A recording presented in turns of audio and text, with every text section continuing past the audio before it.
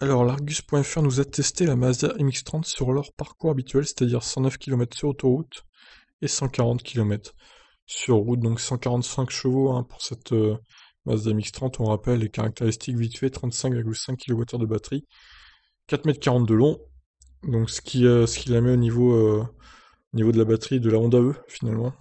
200 km de WLTP par contre, c'est moins que la Honda E. Et voilà, c'est pas une voiture très intéressante honnêtement. 26 900 euros. Bonus déduit par la version bas de gamme et haut de gamme 30 800 euros. Donc du coup. Bon alors, passons aux chiffres maintenant. Alors, déjà, il démarre le test avec une température de 10 degrés. C'est pas, pas dingue en même temps, on est en plein mois d'octobre, donc euh, c'est pas, pas étonnant. Ça passe pour notre protocole de test qui prévoit d'effectuer les tests par des températures comprises entre 10 et 30 degrés. Avec environ 200 km d'autonomie annoncée par Mazda, nous prenons nos précautions sachant que sur autoroute, les batteries des voitures électriques fondent comme neige au soleil. Donc alors, ah ben regardez, ils ont quasiment vidé la batterie du coup en faisant leurs 109 km. Donc ça fait une 30 kWh la conso. Oh là là là, c'est honteux quoi. C'est juste énorme. C'est juste énorme, ils ont, ils ont bouffé 93% de la batterie pour leur test, c'est incroyable. Donc la voiture en gros à 130 km/h compteur, elle peut réaliser 117 km d'autonomie. Bon, la température était assez basse aussi, il faut avouer. Peut-être qu'à 25 degrés, on peut faire, on peut faire 130 km peut-être. Peut-être 140 avec un peu de chance, mais pas plus. Hein. La conso est juste énorme, quoi. Au final, le MX-30 n'est pas capable de parcourir plus de 120 km d'autoroute. C'est insuffisant pour relier deux bornes de charge rapide sur le réseau autoroutier français. Voyager en MX-30 sera donc un doux rêve. Dommage car la voiture est très agréable à mener. On est bien installé, le confort est bon, la sonorisation soignée. La petite batterie n'explique pas à elle seule ce rayon d'action trop faible. C'est aussi la conso électrique qui s'est montrée élevée. Bah oui, 30 kWh au 100, c'est, incroyable. C'est incroyable. Alors c'était affiché 25,3 apparemment sur euh, l'ordinateur, mais je pense qu'au final la capacité utile doit pas être de 35. Hein. Elle doit être autour de, 30 du coup, je pense. Ah, ils ont dû se planter sur la capacité utile. Je vais aller vérifier ça quand même. Alors sur iv-database.org c'est marqué 32 kWh de batterie utilisable. Donc ça serait comme la Honda E. Bon, à vérifier quand même. Donc ils ont rechargé leur batterie évidemment. Donc la puissance, hein, comme on a dit, 143 chevaux, couple de 271 Nm. Alors elle est lourde cette voiture, une tonne 645 aussi.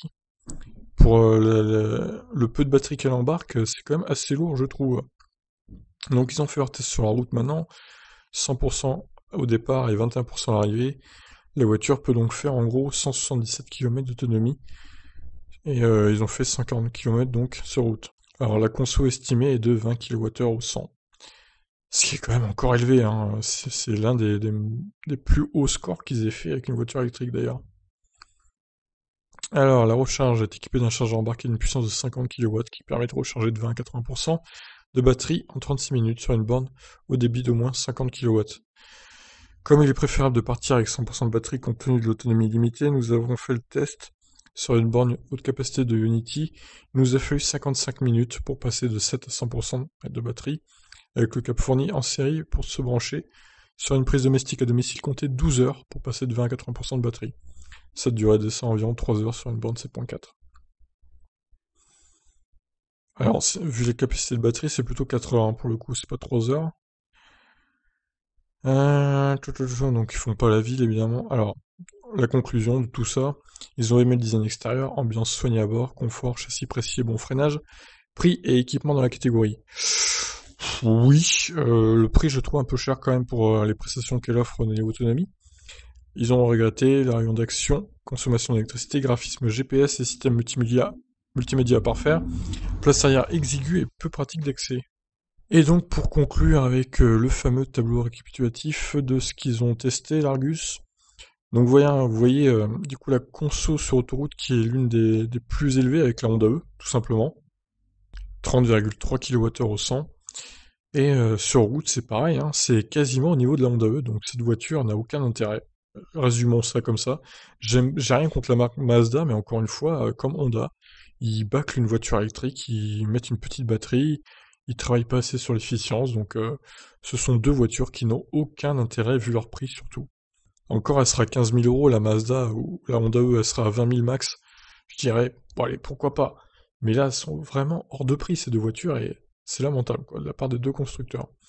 Voilà, sur ce, je vous laisse réagir, qu'est-ce que vous en pensez? Ciao